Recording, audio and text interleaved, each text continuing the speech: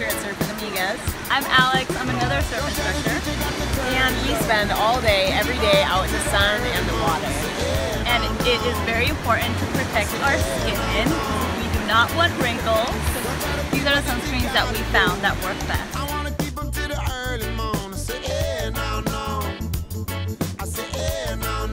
Sunscreen, um, I like using a stick, and Shiseido has been the best one.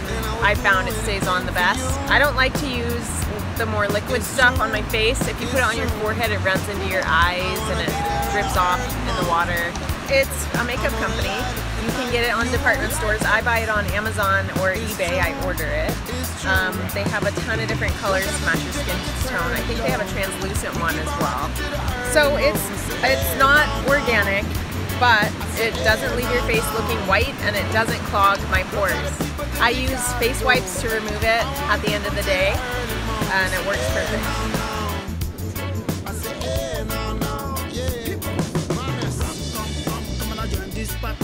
Hello everyone, the sunscreen that I use is called Raw Element. Um, it was made by a lifeguard who was tired of using chemicals. And it's an amazing sunscreen. It has green tea, black tea, it has hemp seed oil, it's fragrance free, it's non-tested on animals, it's GMO free, it comes in two colors, it has this skin tone and it also has a white color. I love it. As for the body, I try to use as little um, other products as I can.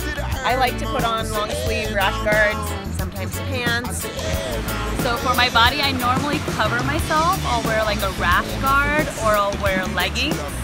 The hat helps a lot as well. It uh, protects the ocean, you don't have to use a ton of chemicals, and it keeps your skin nice and young looking. Not only that, but it is so much fun to go shopping for Seea and other cute surf gear, so bonus. And this is what happens when we don't pay attention. we don't look to the ocean. Cows crossing. We keep on rocking to the